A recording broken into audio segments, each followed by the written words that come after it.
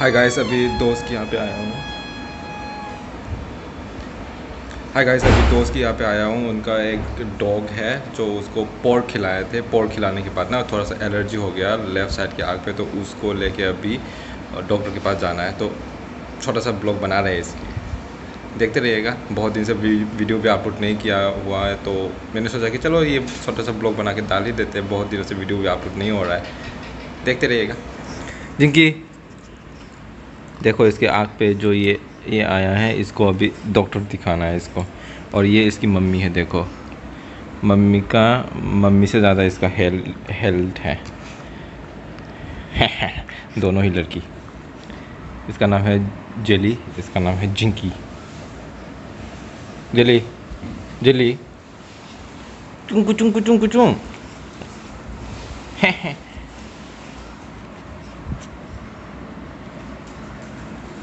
जिंकी?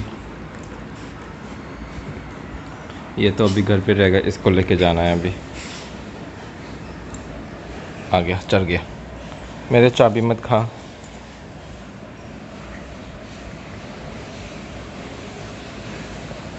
Doctor था ना जिंकी? Doctor था ना डॉक्टर था ना कुटुम कुटुम कुटुम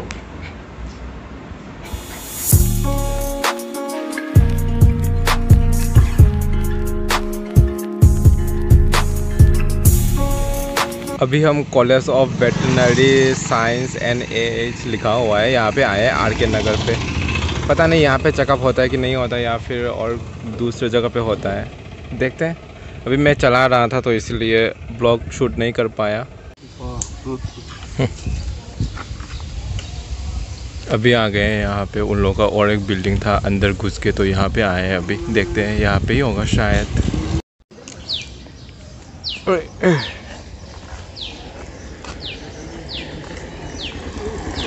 यहाँ पे उन लोगों का ट्रेनिंग सेंटर है अभी यहाँ पे ही हो सकता है। जिंकी?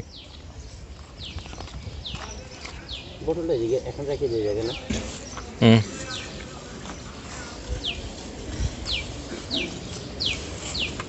चलो चलो चलो चलो। आर के नगर का वेटनरी ट्रेनिंग सेंटर चलो देखते हैं अंदर जाके। जिंकी अभी इसका सर्जरी करवाना पड़ेगा यहाँ पे। डॉक्टर का वेट कर रहे हैं अभी ला ला ला ला ला लो लो लो लो लो लो लो लो लो लो लो लो लो लो लो